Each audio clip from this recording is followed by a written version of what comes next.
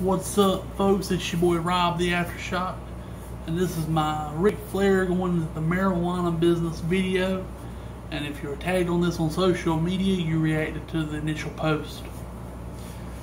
Now, Ric Flair has teamed with Mike Tyson, the boxer, with his company Tyson 2.0, who's already in production of cannabis products.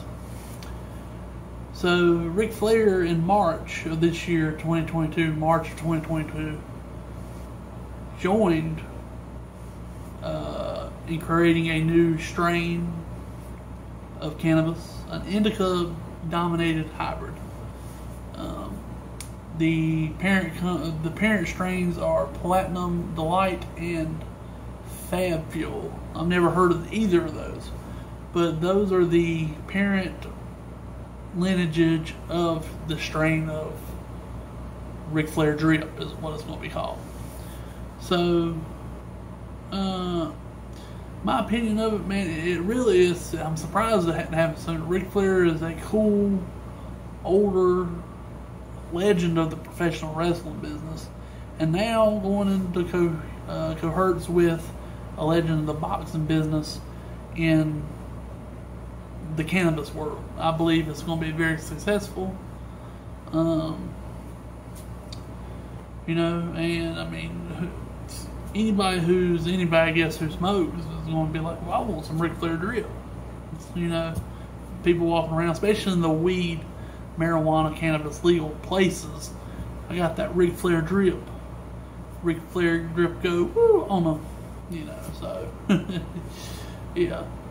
But as far as my opinion about it goes, I think it's really cool. You know, uh, I believe it'll help a lot of people.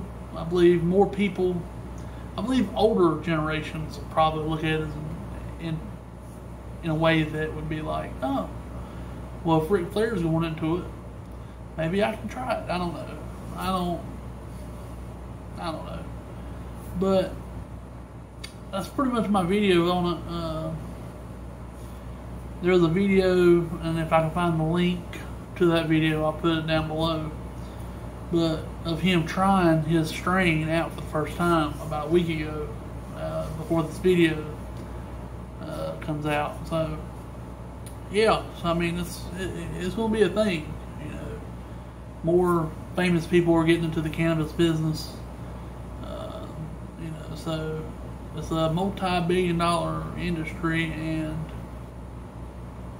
you know, why not? Why shouldn't Ric Flair get into it? Gonna make him some more money, you know.